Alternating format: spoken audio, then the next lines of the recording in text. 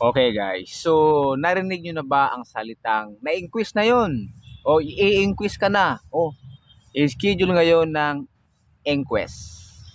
So, ang salitang inquest guys, ito yung binabasahan ng akusa, inaakusahan, bina, ini, in-evaluate o ini sinasampa na ang kaso ni piskal sa mga uh, suspect or respondent na nahuli.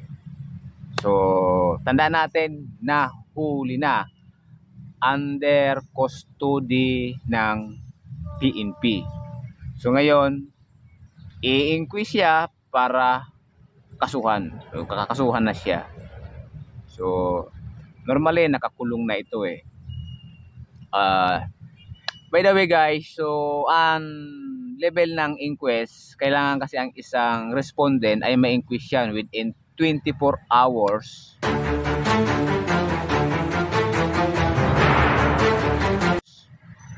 Apan nung siya ay inarrest. So, so ina-apply ito sa mga warrantless arrest na inaresto.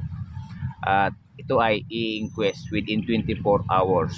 Kapag hindi naman to na-inquest, so dapat palabasin ito ng pulis.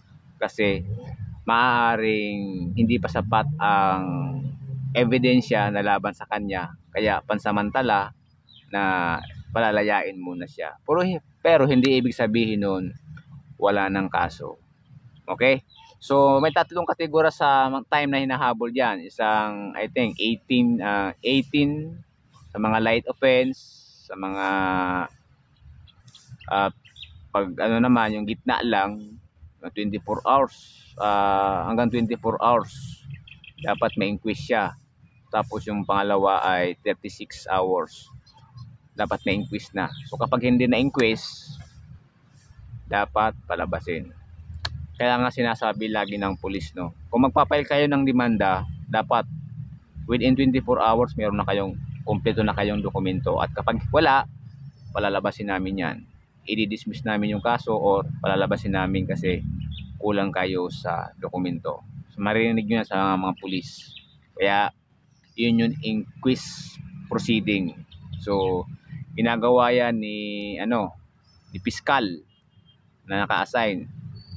Parang oh, ikaw, inaaligasyon ng kaso, tinatanggap mo ba na ikaw ay inaaligasyon na ng ganitong kaso at ikaw ay merong kalayaang mag-bail.